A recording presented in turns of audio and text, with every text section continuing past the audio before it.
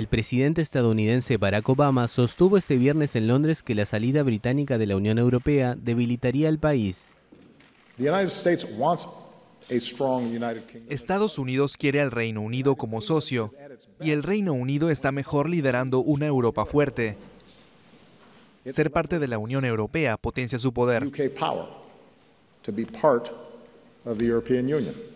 En una conferencia de prensa con el primer ministro británico David Cameron, Obama dijo que el Reino Unido pasará al final de la cola en las negociaciones comerciales, aunque precisó que un acuerdo de libre comercio entre la Unión Europea y Estados Unidos no es inminente.